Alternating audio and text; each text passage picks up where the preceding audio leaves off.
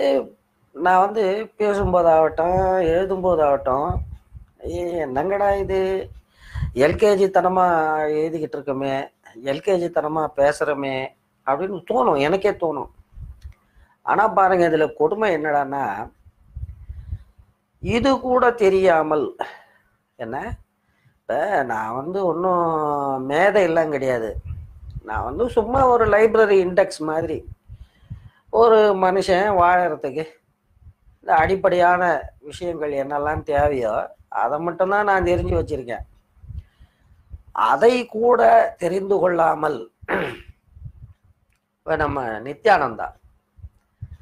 நித்யானந்தா மாதிரி பார்ட்டிங்களெல்லாம் நம்பி இவ்வளவு பெரிய கும்பல் போகுதுறான்னா அப்போ வந்து நாம் பேசுறதுல வந்து தவறே கிடையாது.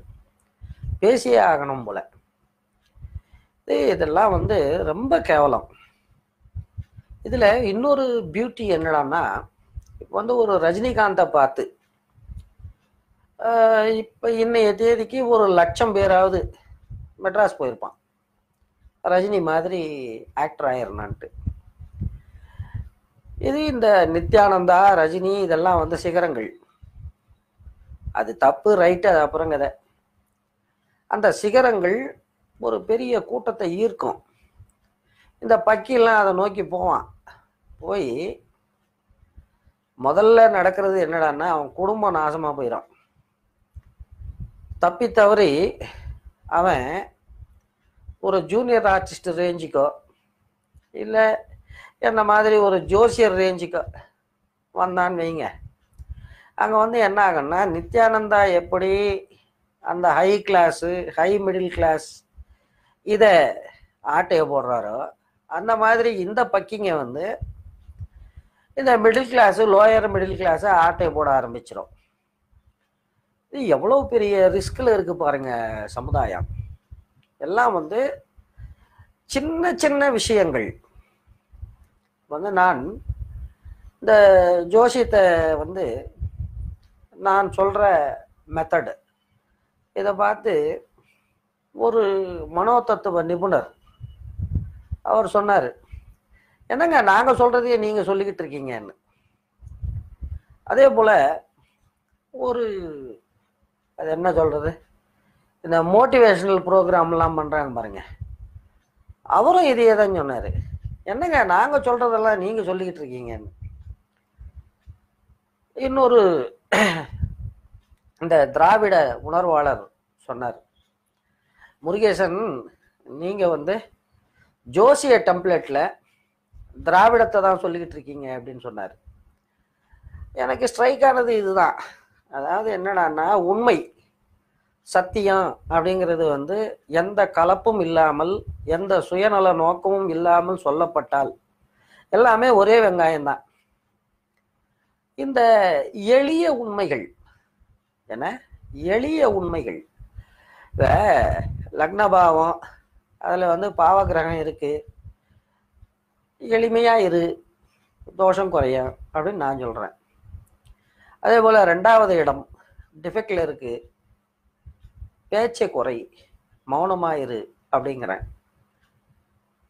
இப்படி அதாவது வந்து உங்களுடைய உணர்வு அதுதான் வெளிப்படுது.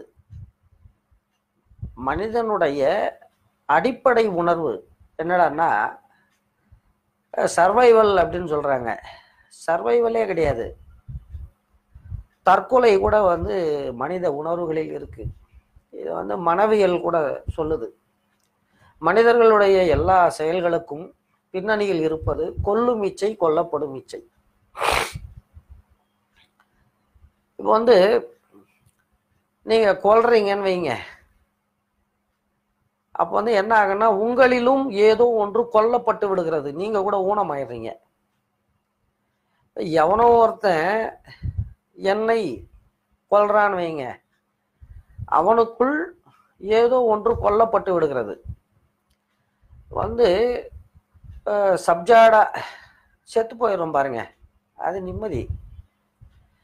ஒய்யால இந்த ஆட்டையை போடுறவன் இந்த போலி சாமியார் இவன்லாம் வந்து என்னென்னா கொஞ்சம் கொஞ்சமாக செத்துக்கிட்டு இருப்பான். இவனெல்லாம் பார்க்கும்போது யார்? இந்த பக்கி வாசுதேவா ஆகட்டும் இந்த நித்யானந்தா ஆகட்டும் இவனெல்லாம் பார்க்கும்போது இவன்லாம் வந்து பேங்க்கில் என்கிட்ட பால் பாயிண்ட் பென் ஓசி கேட்டால் கூட கொடுக்க மாட்டேன். ஏன்னா அந்த முகம் சரியில்லை. நான் சொல்றது வந்து சாமுத்திரிகா லட்சணம் இல்லை. என் சிக்ஸ் சென்ஸுக்கு தெரியுது. இவன் சரி கிடையாது. பேனா கூட கொடுக்க மாட்டேன். ஆனால் இந்த பக்கிங்களை நம்பி அப்பா அம்மாவை திராட்டில் விட்டுட்டு அதுவும் அந்த காலத்துலனா பரவாயில்ல. கவர்மெண்ட்டு ஸ்கூலு போயிட்டு வந்துக்கிட்டு இருந்திருக்கேங்க. இன்றைக்கி வந்து அப்படி கிடையாது. ஒவ்வொரு அப்பனும் ஆத்தாளும் வெள்ளை யானையை வளர்க்குற மாதிரி வளர்க்குறான் பிள்ளைங்கள. இந்த பக்கிங்க இப்படி போய் நித்யானந்தா பக்கி வாசுதேவன்னு நாசமாக போகுதுங்க. இதை பார்க்கும்போது எனக்கு ஒரு காமெடி ஞாபகத்துக்கு வரும்.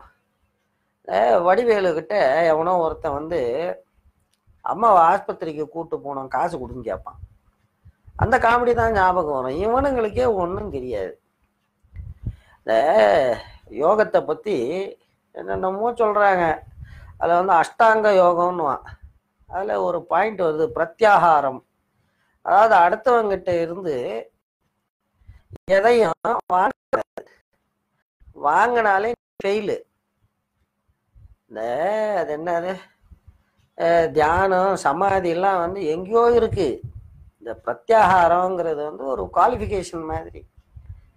இவன்லாம் வந்து இப்போ ஆஃப்டர் ஆல் நான் வந்து ஜோஜன் சொல்கிறேன் அவ்வளோதான் ஒரு ஜாதகத்தை பார்த்தா அந்த ஜாதகத்தோட இம்பேக்ட் என் மேலே ஒன்றரை மாதத்துக்கு இருக்குது ரெண்டு எட்டில் ராயக்கேது இருக்கிற ஜாதகத்தை பார்த்து பலன் சொல்லிட்டு பஜாருக்கு போனால் கக்கத்தில் இருக்கிற கொடையை உருவிட்டு போயிடுறானுங்க. அதுதான். வாங்கினா கர்மம் வந்துடும் கொடுத்தா கர்மம் போயிடுது. அதனால தான் வந்து நாம் வந்து வருஷத்துக்கு ரெண்டு தடவை க்ளீன் அண்ட் க்ரீன் ஸ்டார்ட் பண்ணி இந்த பேலியோ மாதிரி வீட்டுக்கு கூட பேலியோ தேவை. எடையை குறைக்கிறோம் இவன்லாம் வந்து இந்த கர்மத்தெல்லாம் எங்கத்தான் போய் ஒழிக்க போகிறானுங்களோ ஒன்றுமே புரிய மாட்டேங்குது. ஒரு கட்டத்தில் வந்து இந்த மாதிரி துபாக்கூரங்களை நம்பி போகக்கூடிய இந்த ஜனங்க இவங்களை பார்த்தா ஒரு பக்கம் வந்து ஒரு விதமான அது என்ன சொல்கிறது அதை? ஒரு கருணை மேலோங்குது. அதே நேரத்தில் கடுப்பும் வருது. மற்ற சாவுங்கடா.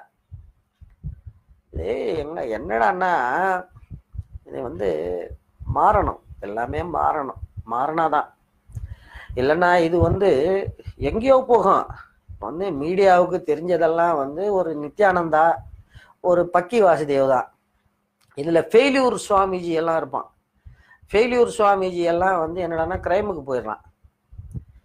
இது மொத்தத்தில் வந்து இந்த டிபார்ட்மெண்ட் இது இந்த ஆன்மீகம் அப்படிங்கிற டிபார்ட்மெண்ட்டுக்கு வந்து பெரிய பூட்டா போட்டு ஆகணும் இல்லைன்னா வந்து நாசமாக போயிடும். ஜனங்க வந்து எல்லா வகையிலையும் ஏமாற்றப்பட்டு துக்கப்பட்டு துயரப்பட்டு அந்த ஆன்மீக பக்கம் போகிறாங்க அங்கேயும் வந்து ஆட்டையை போடுறானுங்கன்னா இவெல்லாம் வந்து மனுஷனே கிடையாது.